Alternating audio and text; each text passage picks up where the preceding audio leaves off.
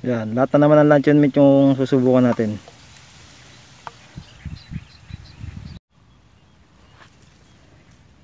WE High Kappa 7.1 Dragon. 29 rounds magazine capacity. Yan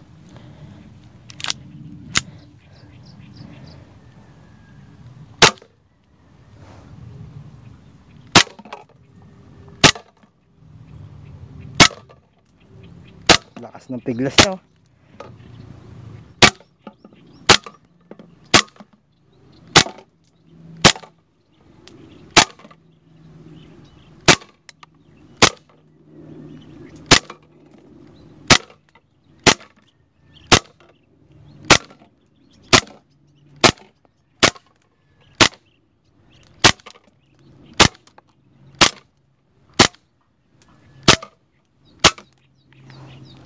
Boss, ang 29 rounds.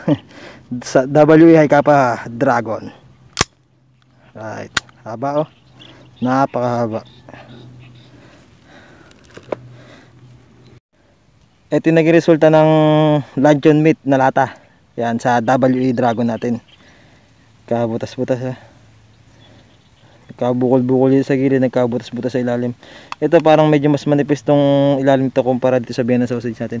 Pero ang nakakagulat dito, pati itong bangko natin nabutas wala na tayong maup maupuan pa naman pero baka makasugat pa ng puto yan, nabutas sobrang lakas niya napakalakas ng impact ng WE High Kappa Dragon.